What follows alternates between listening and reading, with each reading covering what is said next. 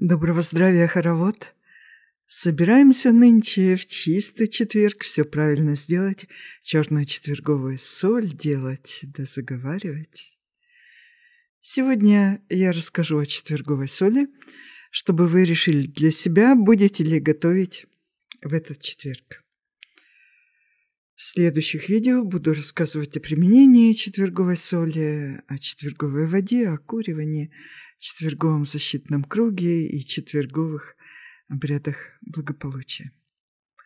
Если вы хотите приготовить простую черную соль для повседневных нужд, вы можете сделать это в любое время года. А чтобы получить сильное магическое средство, хорошо знакомое нашим предкам, придется ждать одного единственного дня в году. Чистый четверг, долгожданный четверг в апреле месяце. Напомню, что сделать и даже заговорить соль можно, начиная с 8 апреля вплоть до 15 апреля, канун первых русалей, но стараться вам нужно будет больше, чем в четверг, который имеет дополнительную силу. Способы приготовления четверговой соли в разных местах несколько разнились. Иногда просто в ночь под четверг. С 10 на 11 апреля 24 года нынче на стол э, ставили хлеб и соль, а потом эту соль хранили как лекарство. Чаще эту соль в эту ночь клали в печь, завернув узелок. Способы приготовления четверговой соли в разных местах несколько разнились. Иногда просто в ночь под четверг. С 10 на 11 апреля 24 года ныне на стол ставили хлеб и соль, потом эту соль хранили как лекарство. Чаще же соль в эту ночь клали в печь, завернув узелок. Другой способ – соль пережигали на углях. В Орловском уезде поваренную соль смешивали с квасной гущей. Завязывали в тряпку, перевязывали веревочкой, ставили в печь на самый жар, соль оставалась в печи до субботы. В некоторых селах Енисейской губернии соль в какой-либо посудине ставили в печь, стопленную воскресными дровами, оставшиеся от воскресенья перед постом – и разожженную древесным огнем. Были другие способы приготовления четверговой соли, так что не удивляйтесь разночтениями. Слишком древний обычай, чтобы не иметь многих вариантов. Белорусы, а также крестьяне Смоленской губернии выносили соль и мыло на ночь на улицу, ночь накануне чистого четверга – Мыло и соль соединялись, видимо, потому что в чистый четверг обычно мылись. Ну, а вопреки убежденности, что четверговая соль делается в чистый четверг, она делается накануне, остывает за ночь, а утром заговаривается. Как приготовить соль? Есть много рецептов, можете посмотреть в интернете. Самое основное в том, что простая белая каменная соль перепекается вместе с хлебом и травами. 1 килограмм крупной соли, примерно 200 грамм трав, полынь, душица, чебрец, иногда заменяли капустными листьями. Туда же добавляли размоченный в воде и отжатый ржаной хлеб. Количество хлеба у всех хозяек было разное, но чаще всего столько же по весу, сколько соли. Хлеб также можно заменить ржаной мукой. Высыпали все это в чугунную сковородку, ставили в печь на горящие угли на несколько часов до тех пор, пока соль не почернеет. Соль которую я буду заговаривать в этом году, нам уже привезут мешками, примерно по 25 килограмм готовую.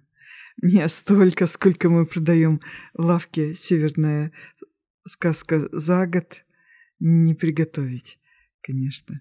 но заговариваю всю. В условиях городской квартиры черную четверговую соль можно приготовить в духовке, конечно. Вывалив тесто на противень 230-250 градусов. Смажьте растительным маслом предварительно. Время приготовления зависит от объема, но не надейтесь приготовить меньше, чем за час, в который ваша квартира наполнится характерным дымом. Привет соседям. Считается полезным и очищающим. Как заговорить соль?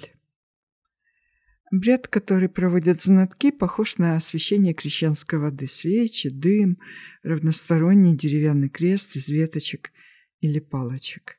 Ну, новички в домашних условиях с малым количеством соли сделайте так.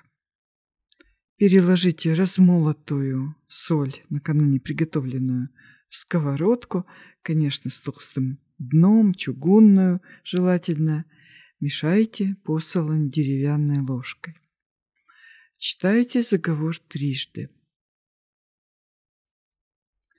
Как к этой соли не льнут ни призоры, ни переговоры, так уж бы к мене, к моему близному, моему дому и моему двору не льнули ни призоры, ни переговоры, ни думы свои и ни худые помышления.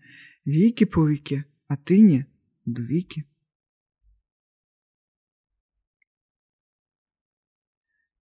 Знающие обратят внимание. Мешать посолонь, а не противосолонь. Почему так? Вроде очищающее средство готовим, хорошо бы противосолонь мешать.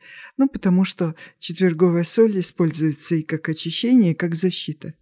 Поэтому магические чары все же по солнцу посолонь.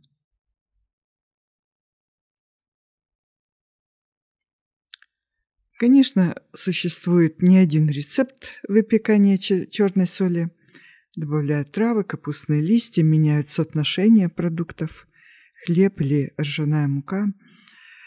Вполне возможно, если вы будете сами готовить, у вас появится свой собственный рецепт приготовления четверговой соли. Важно, простую соль соединяем с ржаной мукой и запекаем до угольков после чего своими ритуальными действиями наполняем добрыми пожеланиями это магическое средство. А день чистого четверга поддержит ваш обряд и наполнит силой. Как использовать соль? А, ну, расскажу в следующем видео. Но сейчас, конечно, важно вспомнить, что ее использовали как в пищу, так равно и как магическое средство.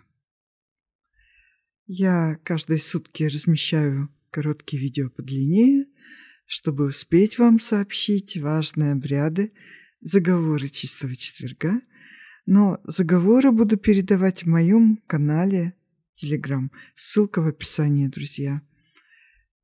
Завтра э, расскажу о том, как использовать четверговая соль.